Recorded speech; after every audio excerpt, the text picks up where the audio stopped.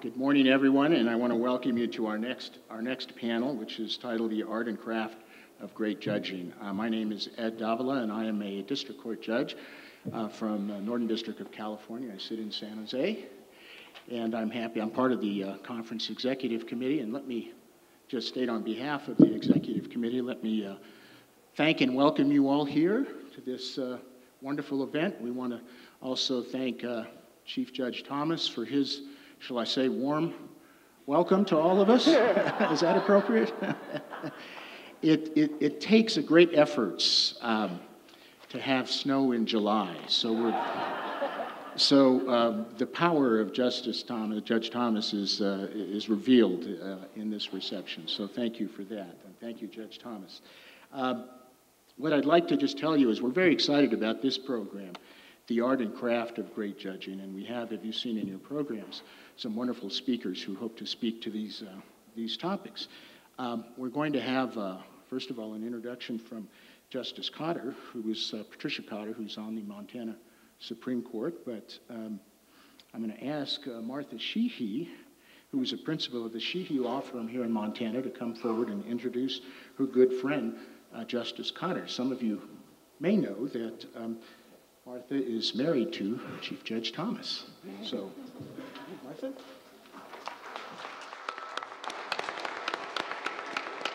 Welcome. Patricia O'Brien Cotter and I met 20 years ago at both of our first Ninth Circuit Judicial Conference. We have been fast friends ever since. Pat served as a lawyer representative from 1996 to 1998, including a stint on the Executive Council. She's with us this week not only as a speaker, but as a spouse, because her husband is Montana's U.S. Attorney, Mike Cotter. Justice Cotter grew up in South Bend, Indiana. She's been in Montana ever since graduating from Notre Dame School of Law in 1977. In over 20 years of private practice, Pat became well known as one of our best Montana appellate advocates. In 2000, Pat was elected to the Montana Supreme Court and re-elected in 2008. I want you to think a little bit about what elected means under the big sky. We have nonpartisan statewide elections, no pre panel, no selection that predetermines, you just put your name in and run. Now that all of you have had a taste of what it means to travel in Montana, and at least a little experience with what passes for summer weather in Montana, you might really understand how badly Pat wanted to write opinions when she threw her name in for the Montana Supreme Court. Pat has served for 16 distinguished years as a justice of the Montana Supreme Court, and she's highly regarded for both her keen sense of humor and her crisp writing style.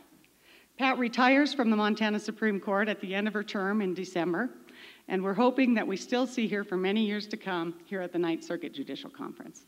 It is my honor to welcome Justice Patricia O'Brien Cotter. That's sticky. Thank you, Martha. Uh, I'm very grateful to uh, Judge Thomas for inviting me to come here today and give a seven to eight minute introduction to the art and craft of great judging. Welcome to Big Sky Country, home of Chief Judges Walter Pope, James Browning, and Sidney Thomas. Uh, it's an honor to be asked to do this. I wish that I had had the opportunity to attend a conference like this at the beginning of my judicial career rather than, at the end of it. But I think the good news is that after listening to the uh, program this morning, I've got about five and a half months to really up my game. So uh, I look forward to that opportunity. I'm sure all of us would like to be thought of as great judges, masters of the art and craft of our profession. We all love the opportunity to author an eloquent or gripping opinion. One problem, of course, for most of us is that we don't have much spare time to dedicate to craftsmanship. And the other problem is that few of the issues that are presented for our disposition lend themselves to inspired prose. Take our court's caseload, for example. We are the only appellate court in Montana, and so we must resolve every issue and every case that comes that can come up on appeal. Like you, we resolve all manner of criminal and civil cases, but we also have to address issues involving custody, divorce, juvenile matters, and termination of parental rights. While we are sometimes called upon to address issues of magnitude and constitutional significance that might call for inspired writing, like you, our time is usually taken up with tedious facts and arcane principles of law. For me, it is difficult to craft a lyrical opinion when deciding whether the district court erred in taking the pickup truck away from the husband in the divorce or when taking away the children of a methamphetamine addict. Which begs the question what makes one a great judge? Is it the ability to handle a broad swath of cases with competence, or is it a polished historical perspective and an eloquent voice? Much depends, I think, on who the beholder is. To the litigant, a great judge is one who rules in his favor. to the litigant, a great judge is, or to the attorney, a great judge is one who resolves an issue just as she argued the court should do. To members of the public, a great judge is one whose decision satisfies their sense of fair play or their lust for vengeance. To all of these persons whom we serve as justice, as judges, Great judging is not so much about art and craft.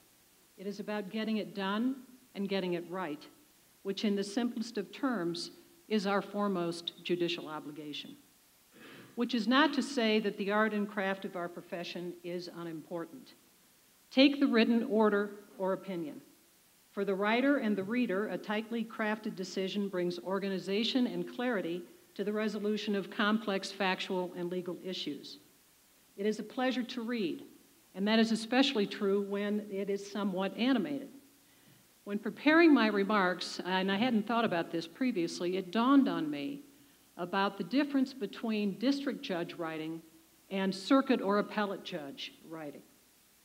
District judges, of course, uh, write opinions, they write orders, and they are free to write these decisions uh, in their own voice, within, of course, the constraints of the facts and the law.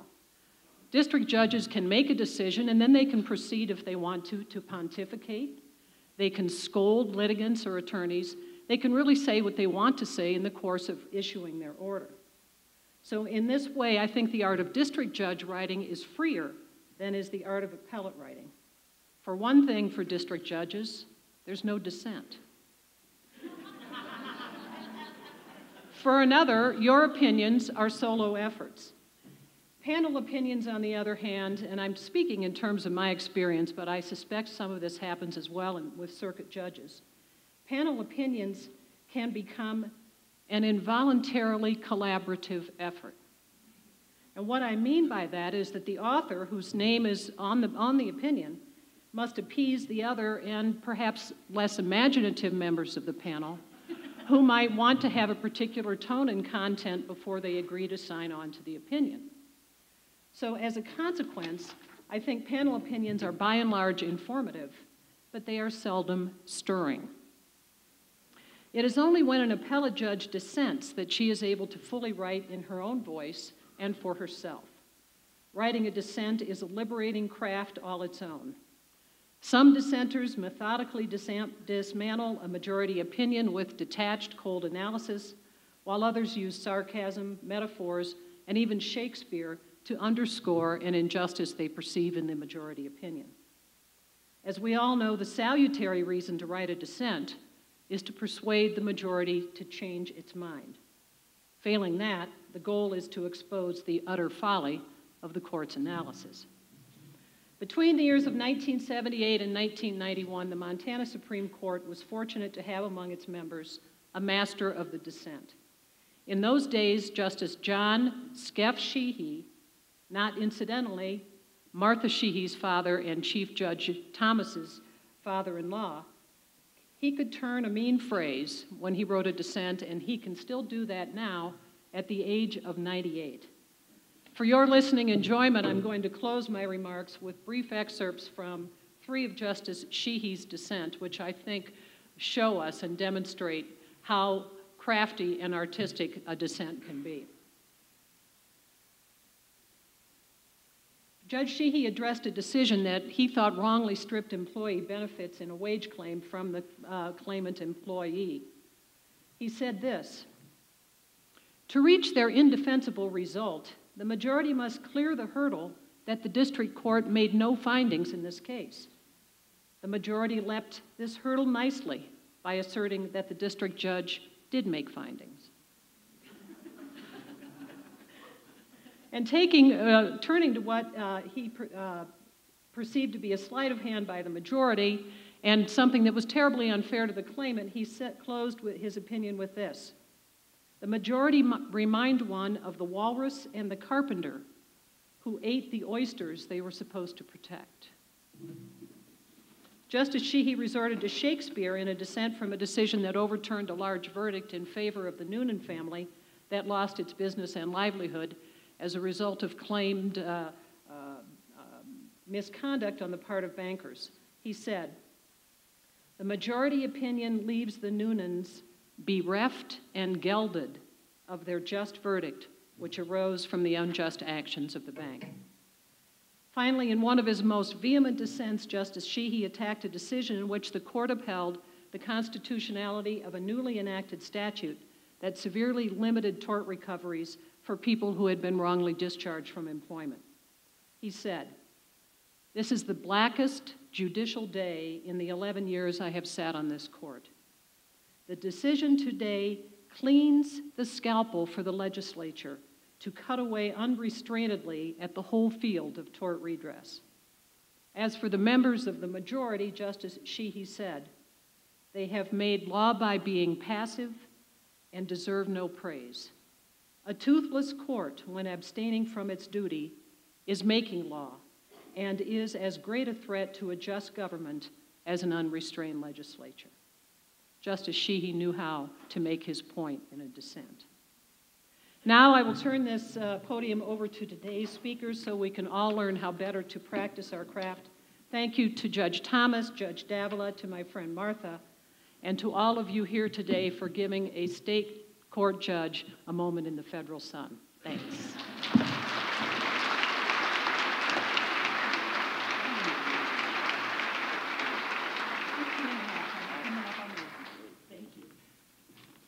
Thank you very much, uh, Justice Cotter. And um, let me just take a moment to, to thank, we should all thank Justice Cotter for her years, 15 and a half years of dedication to public service on the Supreme Court. That you, you ended this December, I think. Thank you so much.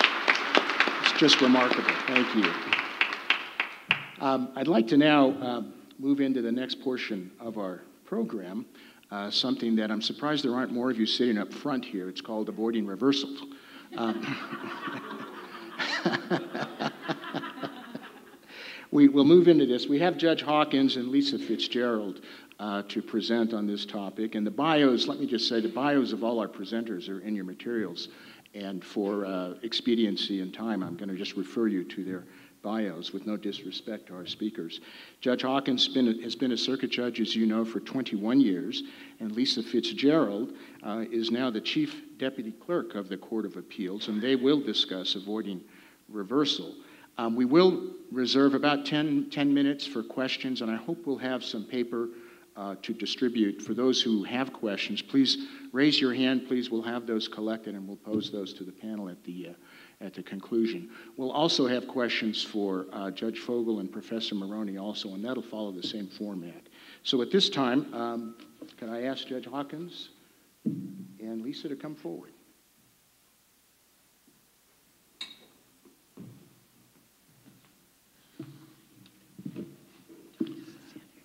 Okay. Good morning, everybody. Uh, we've long wanted to do something like this um, to give you an idea of the craft of trial judging from the appellate point of view and hopefully some helpful hints on might help you do your job just a little bit better. Um, when I first got on the circuit, uh, experienced district court judge said, Michael, just reverse. Reverse all you want, just don't remand.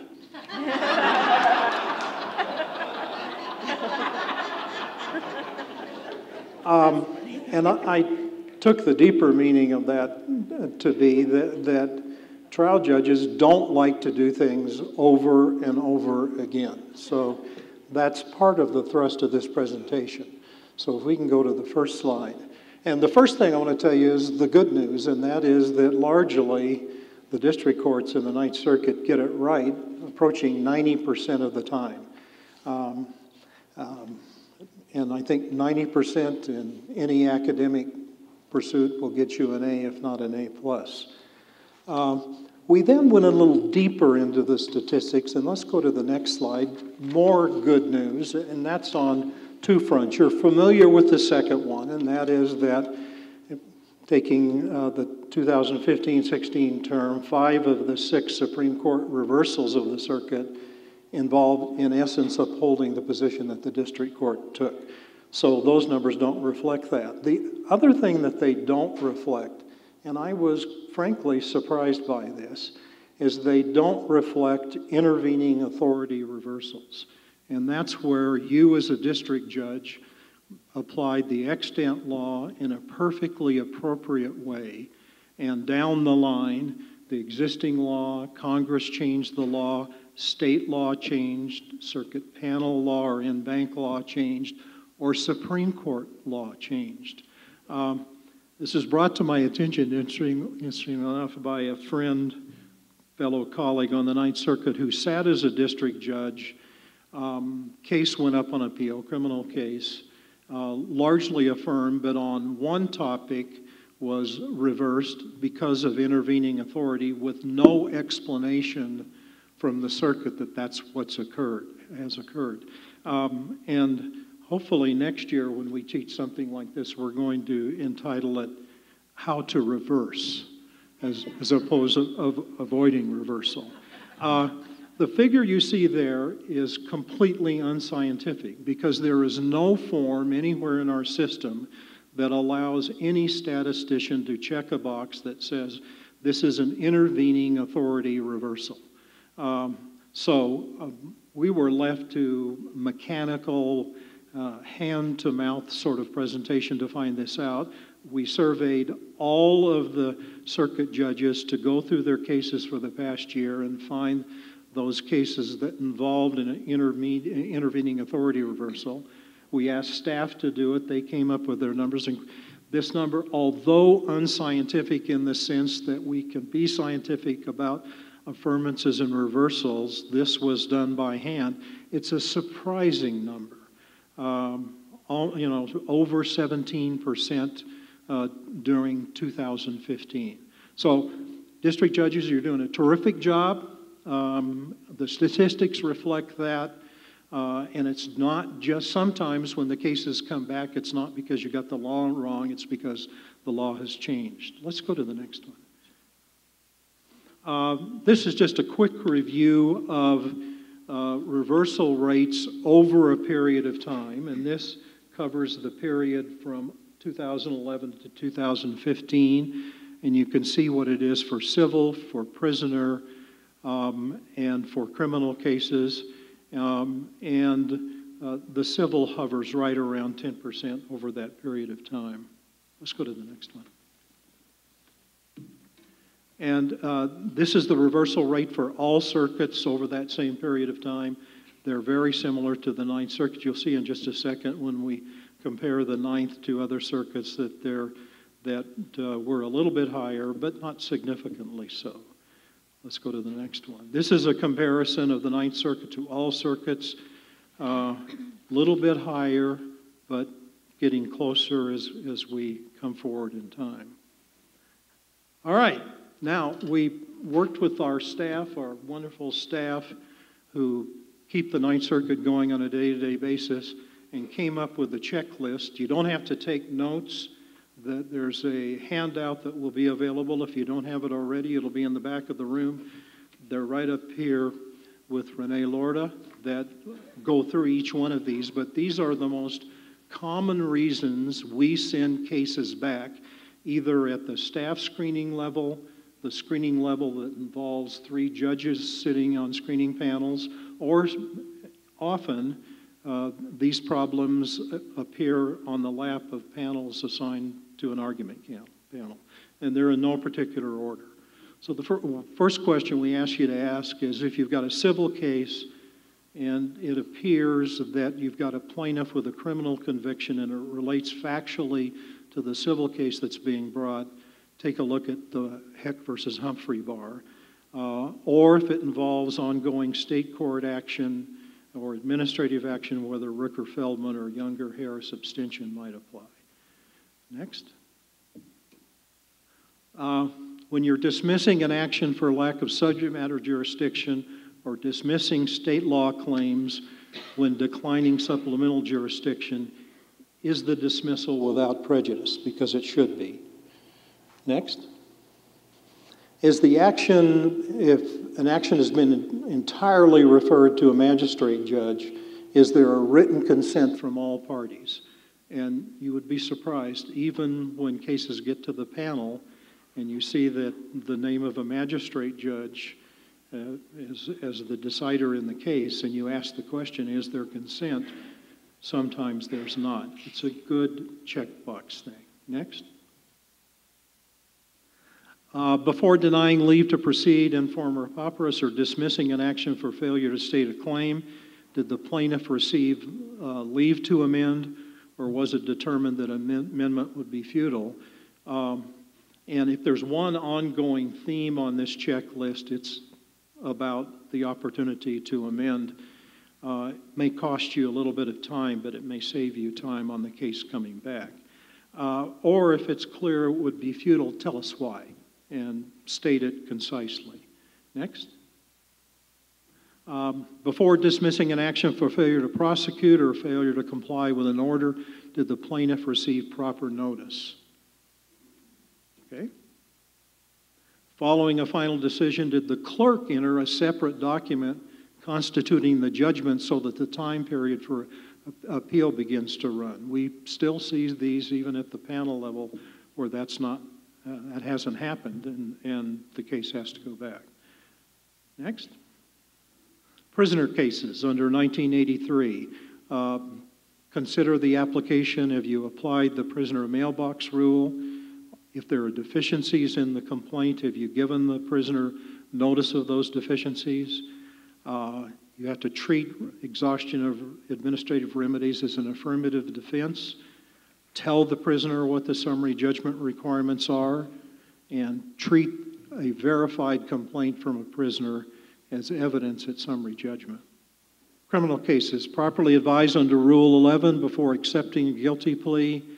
Develop a factual record as to the sentencing guidelines. I see this on panels almost every time I sit where there's little or no factual background for a particular sentence. Make clear when you're exercising discretion that you are exercising discretion. Resolve or find irrelevant factual objections to the pre sentence report.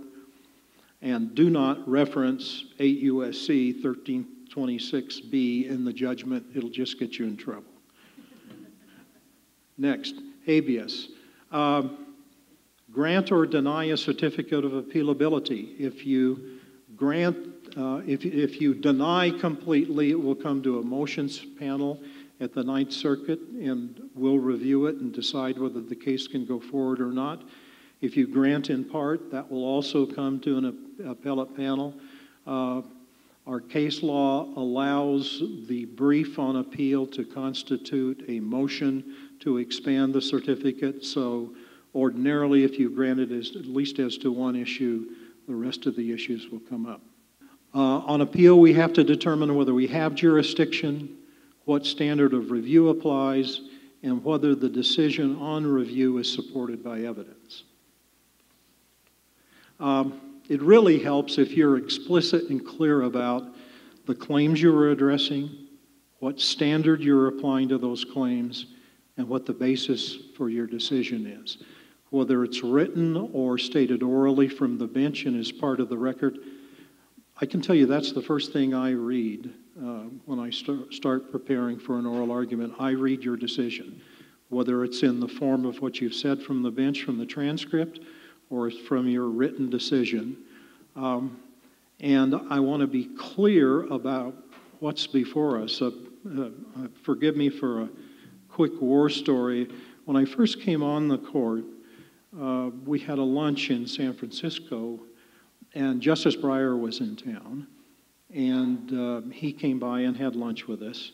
And he was asked about three or four particular cases uh, where the Supreme Court had reversed the Ninth Circuit. And he has an incredible memory, but from off, right off the top of his head, he talked about four cases, and he said, Here's my take on this case, that case, this case. He went through all four of them. Um, and as we were walking out of the room, I turned to one of my colleagues and said, You know, I was on three of those four cases. and the case he described is not the case that was argued to me or to our panel. And I said, You know, if they're doing that to us up there, what are they doing to the district court in front of us? So my rule always is, and I almost always ask it uh, at oral argument panels, you say the district court erred, show me exactly where you put that before the district court, what the district court's response was, and why it was an error. Um, because they, the, these cases can change as they move up the, the sort of food chain. Okay, what do we have next? Procedural steps to increase the odds of affirmance, allow amendment, give adequate notice, consider all relevant evidence, develop an adequate factual record, and address all the claims and objections. That's it. Okay. I think we have time for questions. And I'm happy to take them orally. If you want to raise your hand and stand up, happy to take them. One in the back. Can you answer So that? I can. In those statistics, even a partial reversal would be counted as a reversal, just for the sake of simplifying. Yeah. So there's actually, the, the, t- even the 10% is a little bit broad. You're getting it right most of the time. Sure. Um, For our magistrate judge, you made the comment that we need to have written, we need written consent to the magistrate judge's jurisdiction in all cases. Do you require a separately entered consent, or is a case management statement, for instance, in which both parties sign it and say they will consent to a magistrate judge? I think the latter is adequate, but if you want to be safe, have a separate docket entry for each consent. Make it easy for us to look for this stuff. Exactly. Consent can be implied even by conduct of the parties, as you know, um, but it's just always cleaner and easier if there's written consent. And it's even better when it's on a single piece of paper with both parties signing, so we don't need to rifle through the full record.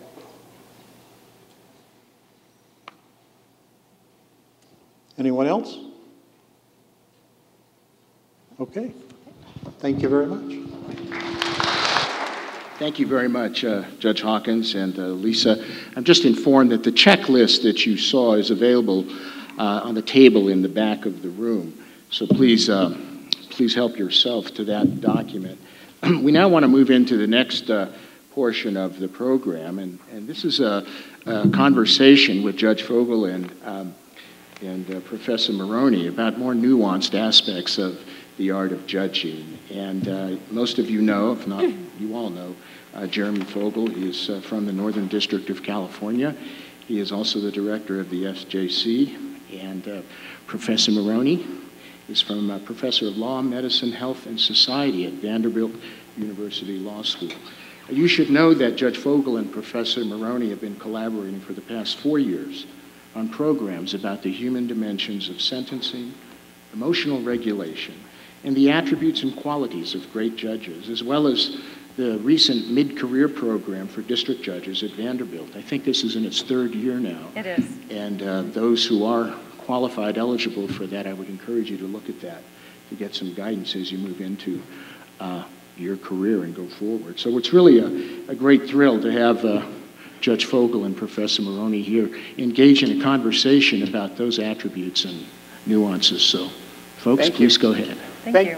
Thanks very much, and um, it's, I'm particularly happy to be here because I get to see so many people I don't get to see nearly enough, and, and I, for one, am really happy about the weather. Um, if, you've, if you've spent a summer in D.C., you know what I'm talking about. it's just absolutely fine with me. So um, I, I want to say a little bit about um, um, how Terry and I got into this because it's, it's an interesting story. Um, as many of you know, I was a judge on the Superior Court in, in um, California for almost 17 years before I went on the district court. So I've been a trial judge for a long time. And, and over that period of time, I think the thing that constantly has come back to me, particularly as a trial judge, is that a lot of what we do, uh, besides the stuff we've already heard about, which is deciding cases and doing the legal process and, and trying to make orders that, that survive on appeal, is we interact with people. And, and we can interact with people in, in a whole variety of ways. We interact with a whole variety of people. And there is a skill set that goes with doing that, that there's an, an art to uh, the human aspects of judging that is uh, really quite complicated, quite interesting, and, and really worth talking about. And when I was on the state court, I, I got involved to, to some degree in uh, teaching about that, uh, teaching to California judges and their equivalent of the FJC. So uh, when I came to the FJC, I was interested in seeing what could be done to expand our uh, curriculum in those areas. And uh, every day I get a list serve from Westlaw, I get a list serve from uh, LexisNexis, and I saw this article about um, judges and emotional regulation in the California Law Review by this person named Terry Maroney, who I'd never heard of. And um, read the article, and it was just an, a real epiphany for me because there was somebody who was thinking uh, in a very rigorous and scientific way about uh, these issues that I've been trying to figure out for 35 years. Um, so, uh, was a, you know, one thing that led to another. I called Terry. It was a cold call. I said, Professor Maroney, I'm, I'm Jeremy Fogel. From the FJC. I'm really interested in your work. Would you mind coming to D.C. to talk about it? This is the kind of phone Yeah. call that makes a Yeah, law so- professor faint because nobody ever cares about anything So if you ever do. think law review articles never have any impact, I mean, it's, Yeah. it's impacted a a major uh, direction of our curriculum, and it led to the programs that uh, my friend Ed Davila was talking about. So one of the, one of the things that we did uh, a couple years ago is we, we did a version of the program we're going to do here today uh, at the Second Circuit. And, uh, you know, the Second Circuit takes great pride in considering itself the mother court. It's where, where all other courts uh, came from. Um, and, you know, they've had these, these great judges, uh, uh, you know, Learned Hand and Henry Friendly and Jerome Frank and, and so on and so forth. So uh, we did this program at the, at the Second Circuit, and we said, um, in preparation for the program, we were going to do a survey about who do you consider to be great judges, because then we could talk about that and, and what, the, uh, what, what, what we learned from that. And um, almost all the judges that people mentioned were from the Second Circuit. and, and there were a lot of single votes.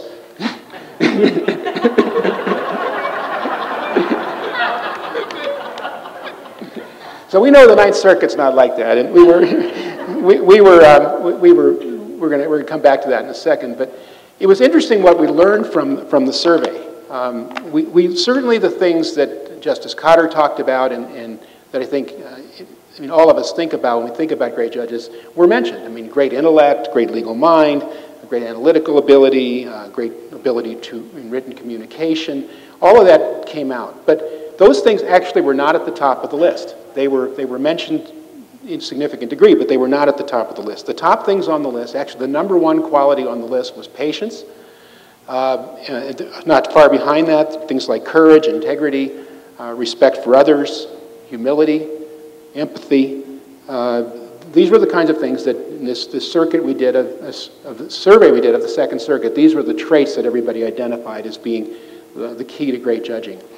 Um, so uh, that really got us going and really got us thinking about where, where to take that. And so we're going to say a little bit more about that, but I want to just pause for a second because we were trying to think of somebody we could talk about uh, who I think most everyone in this room would agree uh, embodied that, and it was a Ninth Circuit judge, and actually was the chief judge of the circuit, and actually was from the state of Montana, and, and that's uh, Chief Judge Browning. um, Terry, you want to say a little bit about, about that? Yeah, absolutely. Yeah. And, and I just want to echo what Judge Fogel has said, that when you really looked at the qualities that rose to the top of, of greatness, it was compassion, empathy, kindness, um, things that don't often make it into the list except among judges, right? Judges thinking, who's a real great judge, a judge's judge, um, and the intellect and the cognitive capacity and all that was sort of the, the threshold condition. And then what really makes people rise are these softer qualities, the human touch. So as we were looking um, at some of the materials about the late Chief Judge Browning, I found these wonderful tributes by um, his clerks, and that is absolutely the theme that, that came through. I wanted to pick out just a few things that people said about him. Um, one clerk said, although his appellate work was one step removed from the human element of direct contact with litigants, so that's a significant change, Judge, from what you were talking about, he was an extremely kind and compassionate man. Um, and you see that same theme coming through. Another clerk said, Judge, Judge Browning always sees the human beings at the center of the circle and he looks them right in the eye. He never forgets who is at the center of his efforts. One clerk wrote about uh, a case in which Judge Browning found a remedy to assist the septuagenarian inmate at risk of losing nearly all his teeth to callous neglect by prison staff, even after I, the clerk, have resignedly concluded that there was no such remedy. Um, another clerk noted that he was the kind, I love this language, he was the kind of person who should be a judge and who was likely born to be a judge because of his humility, the fact that there was not a petty or mean bone in his body. And finally, I want to read this, this last tribute because I think it tees up so much the issues that we're talking about. This clerk wrote, I will always remember Judge Browning confronting some of the most heart wrenching cases before him, approaching them with care and concern, and always upholding his fidelity to the law. He assuaged our feelings of momentary heartbreak when cases we were particularly moved by were lost, by telling us that he had faith in the law that justice would always ultimately prevail whether one case was lost or overruled. He gracefully tempered our occasional hot headedness and idealism about issues we cared deeply about and taught us how to channel that passion into doing the best work that we could.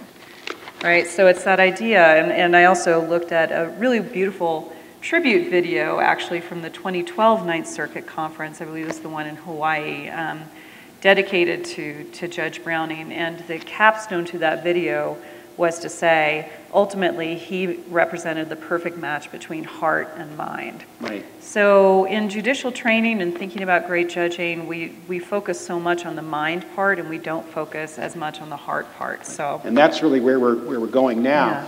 Because, you know, we, we have a reasonably good idea about how to do the, the, the education around the mind part. I mean, you know, you can, you can figure out uh, certainly how to teach substantive law and, and how to make good decisions and how to, to uh, articulate and, and write and reason. Uh, these are things that we're pretty comfortable knowing how to teach and how to talk about.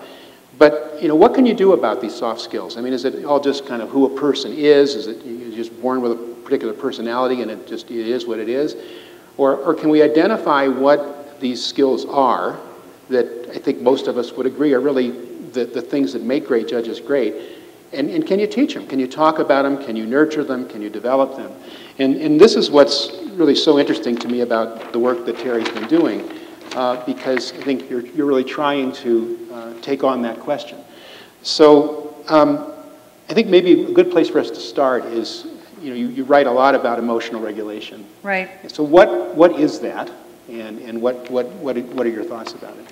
Right. So, to, to, this is a, I used to be a litigant, of course, so I always answer the direct question first, and then I talk about what I actually want to talk about. um, so, to answer, answer the direct question first, emotion regulation is uh, pretty much exactly what it sounds like. It's a catch all term for any efforts a human being makes to change what we feel, when we feel it, or how we express our feelings. So, it's a process that we're all engaged in in some form or fashion virtually all the time. It's sort of, um, you know, why is it so funny that Mary Tyler Moore laughs at the funeral of the clown in the famous episode, right? Because she's not supposed to. So, uh, an appropriately regulated person doesn't do that, um, right? So, it's these breaches in the regulatory um, script of things that we find shocking or amusing.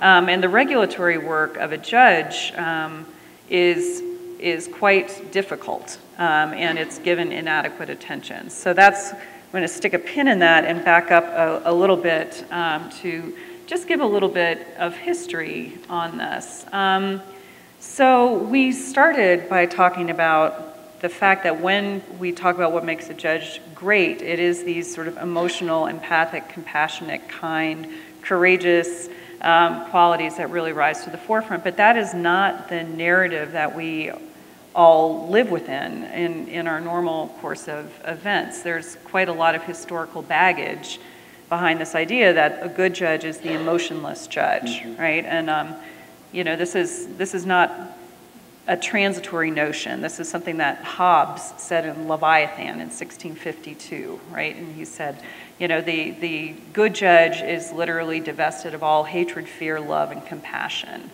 right? And in 1909, a prominent German jurist named Georg Wurzel wrote, This is the fundamental tenet, the fundamental tenet of Western jurisprudence, that the judge is a scientific thinker, and like all scientific thinkers, must set emotion aside completely.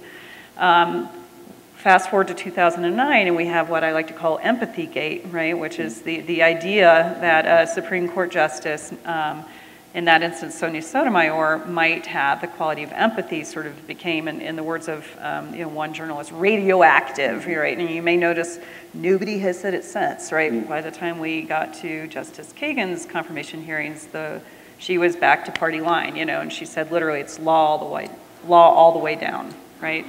Um, so the idea that emotion could have not only just some inescapable role in judging just because judges are human, but perhaps it should have a role is, is unusual, right? So as an academic, you see two things that can't possibly be true at the same time, right? Is the good judge the judge who has no emotions whatsoever, it's law all the way down, or is the good judge what everyone seems to say about great judges, which is that they have this compassion and this humility? Right. And right? one of the one of the places where we really saw that contradiction was in the early work we did, was was with, with, with sentencing. Right. I mean, anybody right. who's ever sentenced anybody, I mean, the thought that that would be an emotionless process doesn't that doesn't work. Right. I mean, yeah. I mean, it's if you survey judges, state, federal, traffic court, wherever. I mean, uh, sentencing is hard and, and it inevitably involves your emotions to some degree. Absolutely. And um, there have been a number of judges um, who have been very explicit about this. I speak to a lot of state court judges as well, and they envy y'all your ability to just say stuff. Mm-hmm. Um, and sometimes I, I, I, tell them the things that you say, and they're like, wow, you know. So, uh, you know, Denny Chin, for example, when he was getting so much press, um, particularly after Madoff um, sentencing gave a series of interviews to the New York Times. He wrote an article in, in UPenn um, where he said every sentencing decision is emotional. Um, and uh, anybody who says otherwise is just is wrong. They're actually not telling the truth. Um, Judge Ricardo Urbina said something very similar. He actually said that he retired early in a way because he just couldn't take the emotional stress of sentencing anymore. He didn't want it. He didn't want it.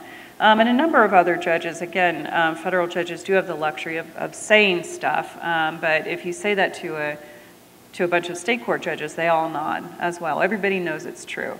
So, to my mind, you know, I'm, I'm always drawn to a contradiction, but I'm also drawn to we need to find a way to resolve something where the party line or the narrative is so obviously out of whack with reality. That's just never a good, that's not a stable situation. Um, so how can we go about helping judges openly acknowledge the emotional content of judging and then regulate it, right? Um, because it's certainly, and this gets me back, see the, the, the appellate lawyer segue back to your original question, but um, it gets back to the question of regulation. I don't think anybody is saying that great judging is only the emotional right. part, right? Um, that, that would be silly. Well, no, I mean, well. that's, that's the point. It's not that we suddenly want judges to start being emotional as much as the fact is it's, it's in there, right. particularly in things like sentencing, other, other exercises of discretion, hard cases of all kinds. And, and if you don't regulate it, then it can lead to the absence of the kind of qualities that everybody agrees that we ought to have. You know, Absolutely. It's the, the ability to be compassionate, the ability to be empathetic when that's appropriate. I mean, we're right. certainly not talking about deciding cases based on who you like better. Um, But it's just, how do you, how do you deal with the, that content that's in there? And if you, if you have a, a nasty person in your courtroom, or somebody's giving you grief, or you're having a bad day, I mean, how do you, how do you use the ability to regulate your emotions to get through those things? Right, absolutely. So, um, and that really gets to the heart of that last quote from one of Judge Browning's clerks saying that he taught us how to channel our passions. So, what you and I are talking about is really how do you do that? I always think that the first step is just recognizing the passion and not trying to explain it away, right? Um, you know, if, if the original party line, sort of Hobbesian party line, is the judge just, just doesn't have the emotions, kind of the post empathy gate party line is, I think, what Justice Sotomayor said in her own defense, which is look, we're not robots. It's not like we listen to evidence and have no feelings. We just have to recognize those feelings and set them aside. So that's kind of our current post realist narrative. Turns out that's a really hard thing to do. That's not quite the right narrative either. It works, it, will get you through a confirmation hearing. Um, uh, it's, it's not exactly right, though. Um, certainly the first part is right. Let's recognize that we have the feelings, but it's easy to get into the mindset of that's just part of recognizing we are human beings, we're not robots. You wouldn't want a robot to do this job. You've got a human being, therefore you're going to have to put up with a little bit of my emotions. It's a bummer. I'm sorry. I can't. Um, it, it's not a good influence on my judging. I'll do my best to set it aside. Um, and certainly sometimes that's true, but it's also true that again these things can't coexist. If if if we think that part of what makes great judges great is the ability to channel those passions. That means those passions are not always inappropriate. Those, those passions have a role. They're not always meant to be set aside. So there's really two, two parts to the emotion regulation puzzle, I think, for judges. One is know, being able to be sufficiently, um, I hesitate to say in touch with because it sounds impossibly California in, in a way, um, though I guess I can do that here. Um, least, so, yes, in the Ninth Circuit. Yeah. Yes, exactly. Um, but this is, you know, again, this is not exactly a touchy-feely enterprise, but um, being sufficiently conscious of, aware of, um, and yes, in touch with one's emotions enough to be able to make decisions about whether this is something one should try to set aside, and if that's the right decision, knowing why and having a set of tools to help you do that, and knowing when it's not something to be set aside, when it's actually relevant to the judgment, is something that can be channeled, and that's a regulatory now, task. You mentioned you mentioned Judge Chin. It's a good example. Yeah. Because um, he had Madoff. This is when he was still a trial judge in Southern District, New York, and um, he writes about this, and he talks about how angry he was mm-hmm. when he but he heard the stories from the the victims of Madoff who lost everything millions and millions and millions of dollars, and, and he just was full of emotion. Absolutely. Uh, and yet he had to impose a sentence, and he had to calculate loss, and he had to figure out what, you know, how the guidelines fit into it, and he had to make the kind of record that, that we heard about in the, in the first segment of this program. And he, had to, he had to go through all of that. Um, and it's very interesting how he talks about that, because what he, what he says is, is pretty much what, exactly what you're talking about. He, he regulated his emotions. He realized how he felt. And then he decided what part of that he was going to hang on to hang and on what to. part not. Yeah. And so if you read his, his uh, um, sentencing decision in, in Madoff and some of the stuff he's written afterwards, there was plenty of passion in there. Absolutely. And it was important for the victims that they saw that. Absolutely. So again, sort of extracting yeah. some of the things, Judge, that you're saying there, yeah. it's important to think about, okay, what function does emotion actually serve?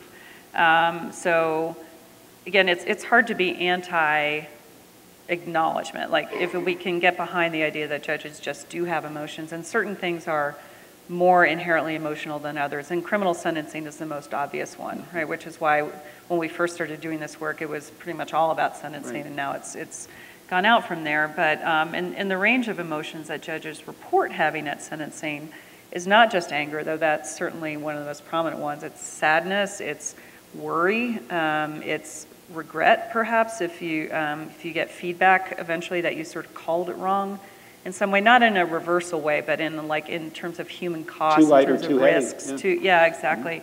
Mm-hmm. Um, judges worry that they'll never get that kind of feedback, so they have to live with that kind of nagging. Did I do the right thing? Um, how will I ever know? Um, did I value things correctly? Sometimes people are literally afraid um, because of physical the the the possibility of reprisals against oneself or one's family, which we're all unfortunately aware of. Um, So it's a real welter of, of emotions. And so certainly it's, it's hard to argue against, at least you should recognize that, right? But then the, the, that's maybe, instead of saying that's half the battle, I'd say maybe that's like, I don't know, 20% of the Uh-huh. battle, you know, and then the 80% is what do you do with it? Right. So, so let's talk a little bit Yeah. about the channeling of the passions. So, again, just to kind of step us back for a moment, um, before you can really know how to channel passions, I do think it's important to have an idea of what they're good for. And then that helps you choose, in a way, your regulatory strategy. So, so this is where I like to um, draw on the, the psychology of emotion. I think, again, when it, because of this unfortunate narrative about emotion, um, and specifically judicial emotion that we've all inherited, um, it's very foreign for people to think of emotion as something that you can study scientifically, that has parts, and you can analyze it, and you can think about it. We, we're, again, we sort of think of emotions as these idiosyncratic um, things that just kind of happen to you, um, and they without necessarily rhyme or reason. And that's that's very much not true. Um, so in our lives as human beings, emotions are absolutely critical components of our survival and also our existence in community. Um, they are sort of intervening systems in the human to help us process stimuli. Um, let's say, I don't know, a grizzly bear, not, not for nothing, right? Um, so a, a grizzly bear, um, and you, you process a stimuli, you analyze it in relationship to your goals, like I'd like to stay alive today. Um, and then you take that stimulus, its relationship to your goals, um, and then the body does some things, which is um, usually a, fright, uh, a flight or fight Yeah. instinct. Um, it- though then your brain sort of intervenes. This is sort of a system one, system two thing. If you've read all the little things saying, don't run from the bear, you idiot, you know, stand still, get your bear spray, right? So um, you impose sort of some other goals, right, which is everything you've learned about staying alive. And the point is, is that it's the fear is not some kind of irrational thing that happens. It's an extremely rational um, response to an environmental stimulus relative to your goals. And all emotions are that. Um, they do feel, they can feel extremely overwhelming. That's the point of them. They're attention signals. They're meant to make everything else kind of fall away for a moment because it's orienting you to what's important. Um, it's enabling your body to do certain things that otherwise it couldn't do at the drop of a dime, like, like run or laugh or smile. Um, and it's also signaling your state of affairs to other people. This is why we scream. What's the point of screaming? Screaming is a communicative device. This is why we, um, in every single culture, we have remarkably similar um, facial expressions that you can attach to all the basic emotions. And that is, again, to signal to other people in our environment dangers or pleasures or things that are relevant to our, to our cohesion and survival. So that's just kind of like a, from a 10, the view from 10,000 feet, like what are emotions good for? Um, if we didn't have them, we would not be functional in any sense of the word. So if you think, if you come down from that 10,000 foot view, maybe to the, I don't know, 2,000 foot view or something, so what, what good is that for a judge? You know, you don't usually have, I don't know, grizzly bears charging through your chambers, um, you know, I imagine, right? So you can have some attorneys that approach you in a way that feels a whole lot like Yeah. a grizzly bear, right? And, and, and you would really like to bear spray them, actually, if you could, um, if, if, if only you could. Um, so again, the, the grizzly bear is just kind of a, an easy example, but we do, when a, when a judge feels an emotional response to something, it's not coming from nowhere, it is coming from a thing. It's coming from a stimulus that you're experiencing as having a particular relationship to your goal, um, which could be getting something done in a timely fashion, which could be figuring out what the actual issue is, and this person is obfuscating that.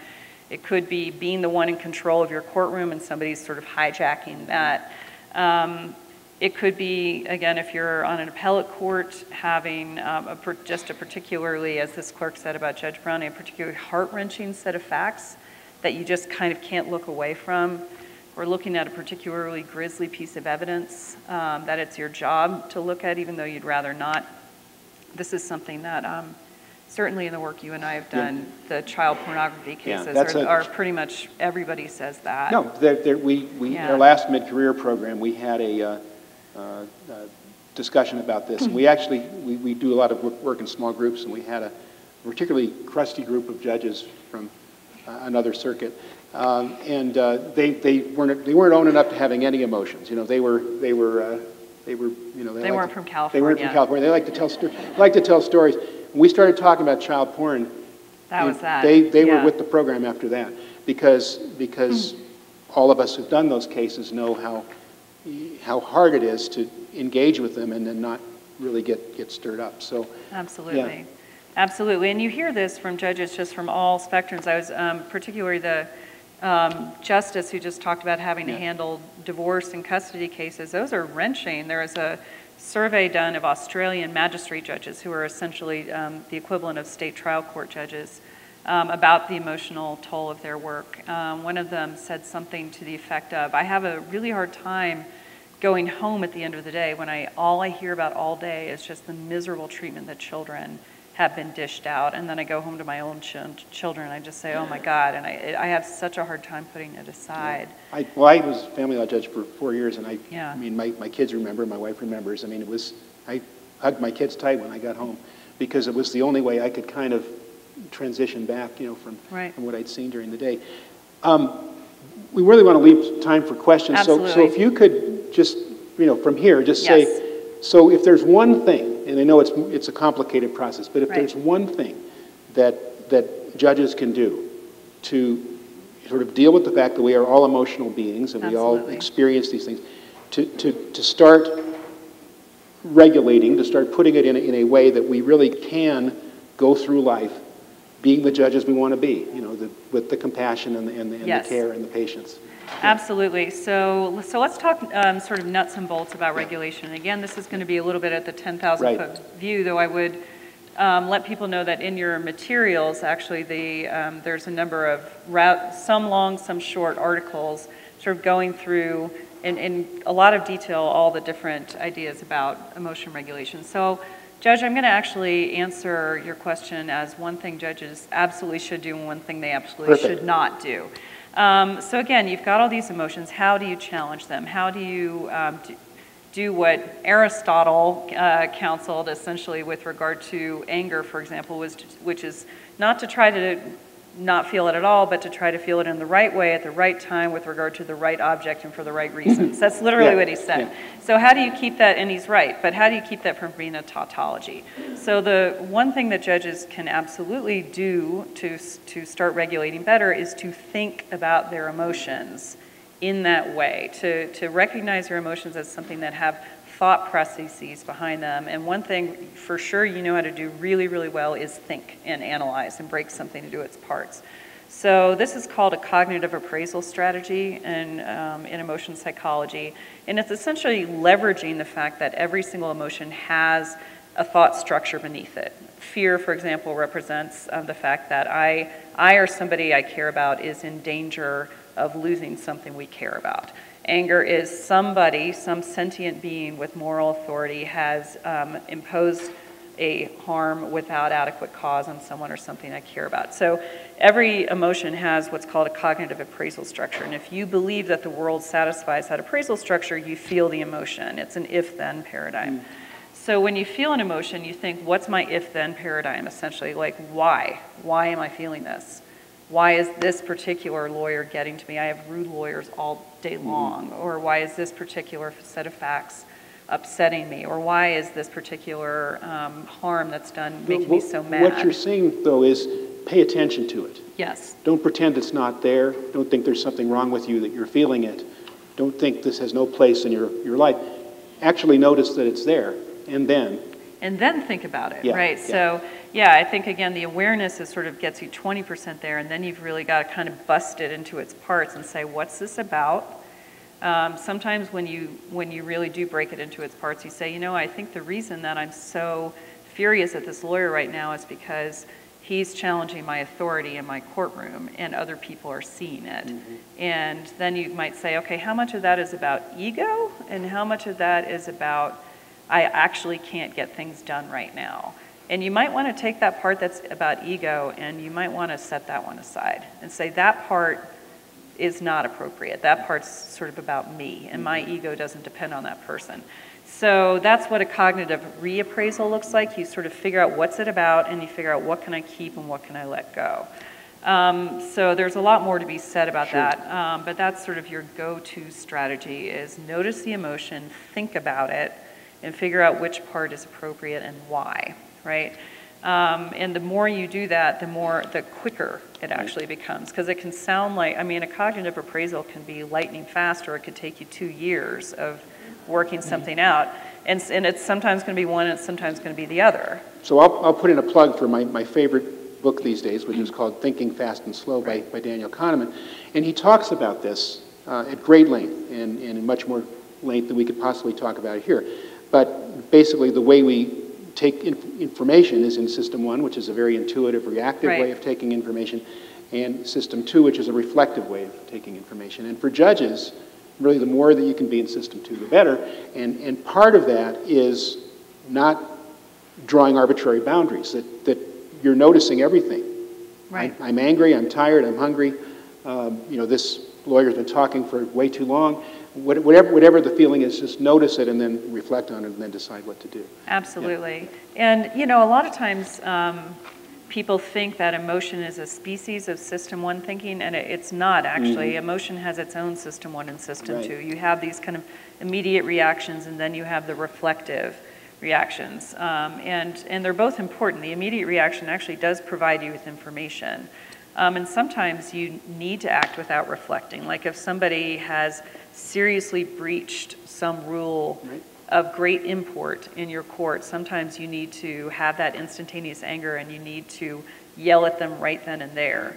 You really do. And sometimes the expression of that emotion is extremely important because people notice, right? Again, the, the communicative aspect of emotion is that, you know, and you all know that from dealing with even, you know, children. If you say, honey, don't do that, you know, um, what I used to live in Brooklyn, and I think of it as park slope parenting of like, now, honey, is that the best choice? You know, as opposed to like, right, How actually, about a sharp, a sharp tone sometimes will keep your child from getting run over by Yeah, a car, that's right? Um, so sometimes that system one emotion is very, has a very important. So we're going to take some questions, but you said there was something that we should never do. Ah, are we at that time already? Almost, Okay, yeah, so that's yeah. the number one, which is cognitive Yeah. appraisal. The, the, the, thing that you must not do, and it's, it's rare that a psychology person gets to say must not, but this is a true must not, is just go for straight emotion suppression.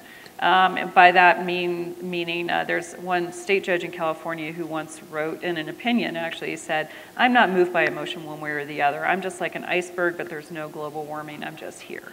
Um, so don't do that. Don't do that. And actually, I read a lot of judicial disciplinary proceedings, and a lot of disciplinary proceedings actually are against people who have extreme unregulated anger problems because they're in such they're, they're hell bent essentially on repressing their emotions and it just kind of comes shrieking out. So, so a lot more I can say about that, but if you try to kind of just freeze yourself off from it, pretend it's not there, tell other people it's not happening, very, very bad things happen. Bad things happen to you, health wise, um, and bad things actually happen to your judging. These, um, it leads to what psychologists call a repressive coping profile.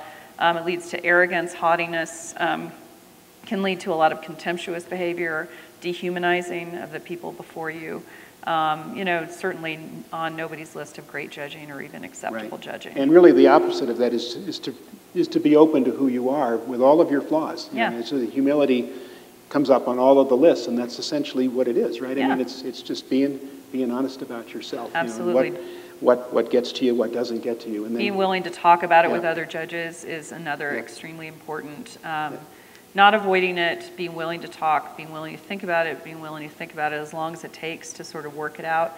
And then you do find the ways to channel the passion to say, you know what, this anger at this defendant is important and it's appropriate and it's important that it be heard. Or this sadness, you know, part of the judge, job of the judge is you actually carry a portion of the world's brokenness and the world's sadness, and that's part of the job. And just to say, okay, today that's that's what I'm doing, and it's okay that I'm sad. What's not to be sad, right? To, that is that is part of me fulfilling my role today. I'm not going to walk away from it. I'm going to live with it. That's right. Yeah. Questions? Reactions. We're really interested in hearing from you and responding to what you have to say. Well, let me take the first question first, and, and I'm not sure if, if everybody could hear it, so I'll digest it. Um, but the question was, to what extent is um, my, the emotional aspect of my research gender neutral?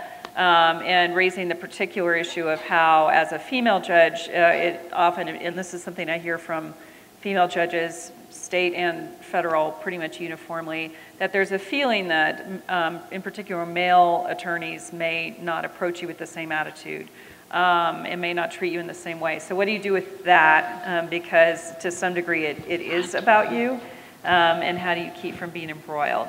Um, so, and then the second question was about the abusive discretion standard, so we'll stick a pin in that and come back to it.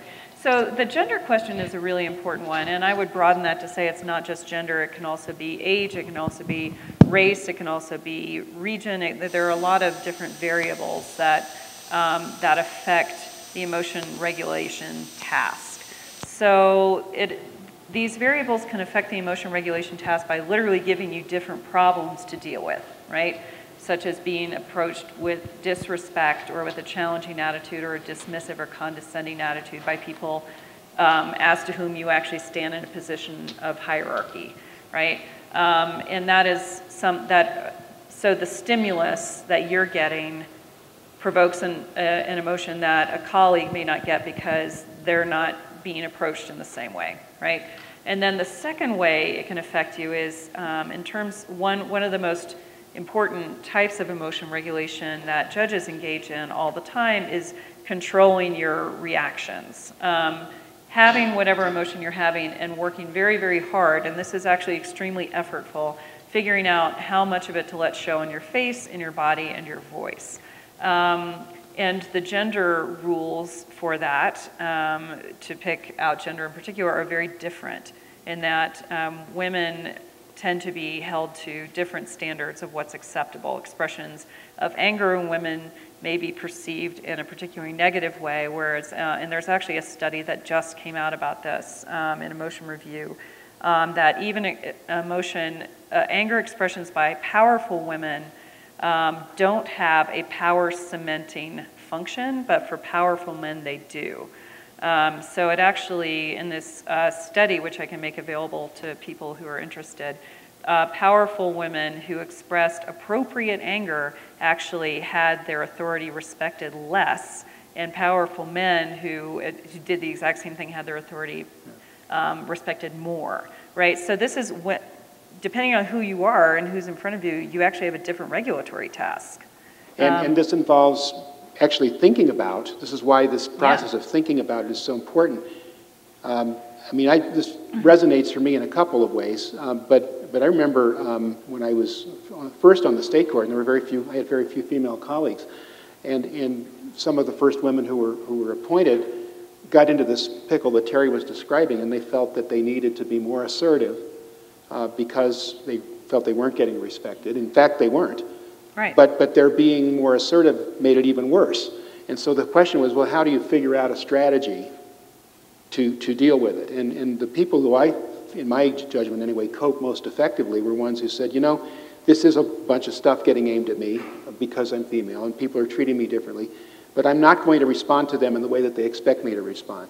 You know, I'm going to kind of confound their expectations. And, and it actually worked very well. I mean, made, made people successful. And I think there's a lot of wisdom in that, you know, across, across the board, that if people expect you to act in a particular way and you don't, you know, that that's, that sometimes can really work to your advantage. So that's all part of the regulatory process that, that, that, you have to go through. Yeah, and one point I just want to make there is that um, the, the behavioral control aspect of emotion regulation, I, I don't think you can say this enough, is quite taxing. Um, and I think it, there's a sociological concept of emotional labor, which is the work, the often unrecognized and unpaid work that we all do to comply with the emotion norms of our profession.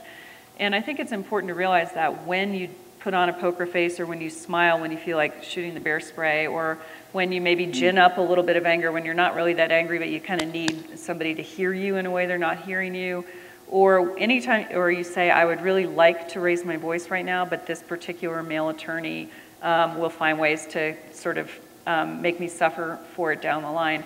Um, that is work. That's not thing that is, that's not something that's standing between you and your work. That's part of your work.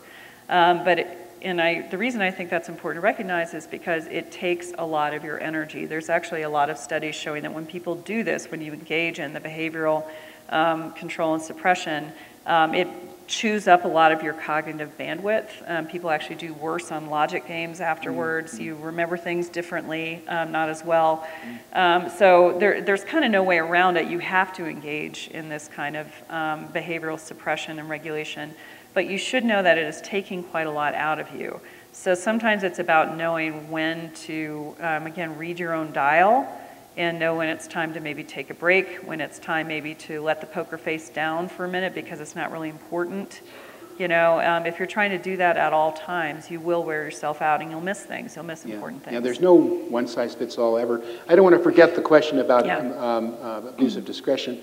Uh, I think go back to the first part of this presentation. I mean, I think, um, so as a district judge, I- I've always thought, I mean, this was the last point that Judge Hawkins made, you know, make sure that the appellate court understands why you're doing what you're doing, even if it's a, if it's a five minutes, that's all you've got, you know, and I, having sat on the family law court, you know, that's all I ever had, you know, and it's like, but it's being able to say, I'm doing this because, because, because, because, Right. and should, you know, you're, you're you're making graphic, what, what we're talking about here is the evidence of your thought process and the evidence of how you're, you're integrating information. I think that's really the essence of our job.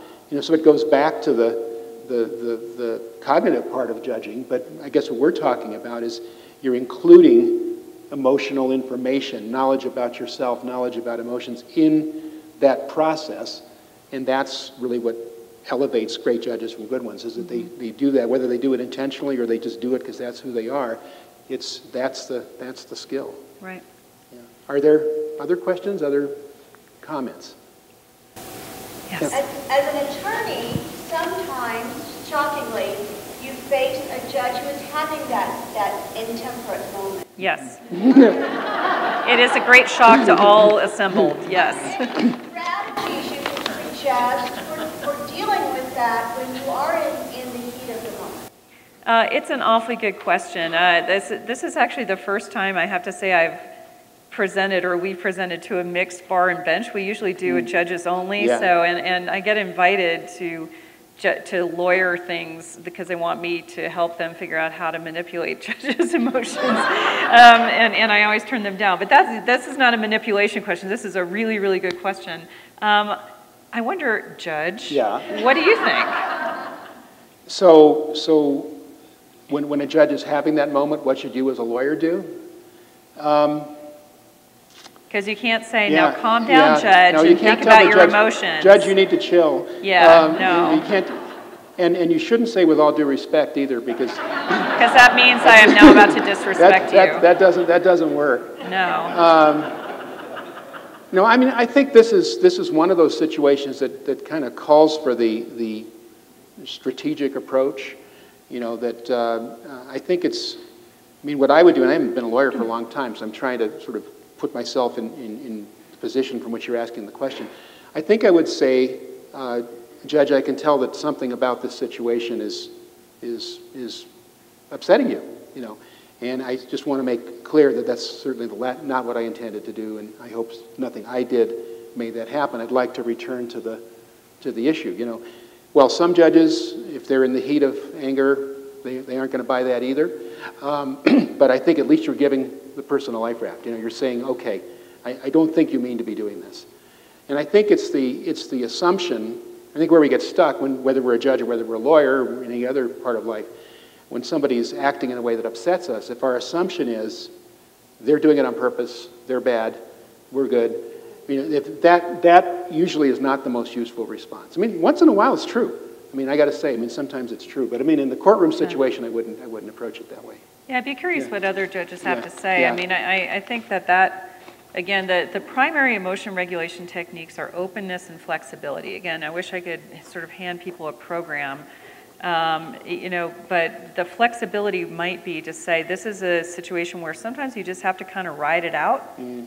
And not say anything. Sometimes you just have to survive the encounter in a way and, and just buy time I, somehow. I do You have one story though that you know I Yeah. actually am recalling now that you know as I think about this I was I was still in family court. I was doing a settlement conference with, with two very high-powered lawyers on a high-asset case. And, and they were driving me crazy because they were, they were fighting to the death about everything. That refrigerator's worth $35, it's not worth $36, you know, and with, with, with total, total passion. And at some point I just said, you know, counsel, I'm really sick of this. You know, this is, this is such a waste of time. And um, one, one of the lawyers, and I've always appreciated that he did this, said, you know, we're just, Judge, we're just trying to represent our clients. You know, and they had a relationship with him, so it wasn't like he was just out of the blue, and I think that's important. But, but he kind of called me on it, and he said, you know, I mean, it's fine for you to set boundaries, but just remember, we're, we're professionals too. We're trying to do this. And I kind of took that in and said, yeah, okay. You know, I mean, Yeah. you are wasting my time, but I shouldn't have yelled at you. Right. Right. But then again, you have to kind of remember that it, it is sort of their time Yeah, as their well. time. And, Yeah, and that's yeah, the part yeah. where you have to be Yeah. like, okay, I have gotten perhaps a little too engaged Yeah. in this. No, and but- that was, that was what I. Sometimes you yeah. apologize even though you've done nothing wrong. Yeah. Again, if you can, um, you know, one, again, one thing that I would say this is equal advice to the litigants and the attorneys and the judges is just don't escalate. Um, a lot of the worst things that I see, I wrote this article called Angry Judges, which I think is in your materials. Boy, that was, my research assistants had the best assignment ever, which is find me evidence of judges getting angry. Um, and a lot of the things that really lead to these horrible spirals that then do often lead to reversals um, is um, just everybody starts to escalate and suddenly nobody, nobody can stop. And so, you know, the lawyer gets more obnoxious, the judge gets more exasperated, you know, they start shrieking at each other, people curse, you know, they taunt, you know, and things just kind of go down, downhill fast. And you think that would never happen to you, but I've seen really very good judges that it's happened Yeah, to. well, there's a video we've used of, I forget what state it was in, where, where a judge actually told the public defender, let's step Oh, that's the outside. Florida Let's one, step yeah. out and settle this outside, you know, so And that. they did. And they did, and And they they went in the yeah. hallway and they engaged in, in fisticuffs yeah, and that judge's yeah. career is over. Yeah, not, yeah. not, not good, yeah, yeah. be a senior judge of the circuit. Uh, You have not spoken about the challenges of a trial judge in a jury case. And uh, That's right. Uh, I always thought it was a challenge uh, that the judge not indicate to the jury that one party was good, bad, or indifferent, or certainly never to indicate how the judge would like to see the case turn out. Now, that's a different challenge maybe than a- you've talked about before. That's a great question, Judge Yes. Ruby, and, and uh, I, I have definitely found it hard. I mean, in, in- in jury trials where, uh, particularly where, where counsel didn't, you know, I said no speaking objections, you know, no, no editorializing after I've ruled, you know, that, I remember one trial very vividly where the lawyer just absolutely could not follow that instruction. And, and, uh, and, and kept making speaking objections and kept arguing after I'd ruled. And so, um, I, I had to, I had to, I realized I was starting to get agitated. And so I took a recess and I took counsel back into court, into chambers, and said, this can't continue. I mean, this is, this is not the way we're doing this. But, but I did worry, and I think you're putting your finger on it, I really worried on what my body language was saying to the jury, you know, what my, my tone of voice was, you know, when I overruled, you know, it's like, it is. Right, you and know, some of yeah, that is yeah, unavoidable. yeah, Some of it is unavoidable, yeah, but that is, that is sort of the, the, the high watermark of the behavioral regulation challenge Mm-hmm. is when, when there is a jury in the room, you absolutely do have to work very, very hard to shield them from having access to your thought process. Again, to the idea of emotions reflect thought processes. And if they see that you're angry, they wonder why, and they will deconstruct why, and then you have influenced their thought processes. Um, and that you can't do. Um, and it is, again, it, it, just know that when you do that, it is work. It is taking a lot out of you. Um, and just make sure you have enough bandwidth left to do the things that, that you have to do. And, do, and um, it's, again, it's one of the unavoidable por- por- portions of your emotional Yeah, labor. and I, I think, just, you know, to add a little thing to that, I think with social media, and we don't, we haven't had the full flush of social, social media in our courtrooms yet, uh, but I think with social media, it's almost like everything is a jury trial. Yeah. You know, that, that, uh, uh, I did a lot of uh, patent cases in my, uh, my venue in San Jose, and, and, uh, you know, if I looked if I conveyed a certain exasperation during claim construction or something, it would show up in the stock market the next day. You know, and it's like, it's like Yeah. you know, that, that you really had to, um, you, you got to monitor your, the way you're coming across to people all the time. And I think that, that really is hard work. But again, I, and I see us getting a little bit of the hook here, so I want to say one, one thing at the end, which is, again, Yeah. yes, exactly. Just to remember that the end game here is not what is the most effective way for me to get rid of all my emotions? How do I take the recognize the emotions and set it aside task to its extreme?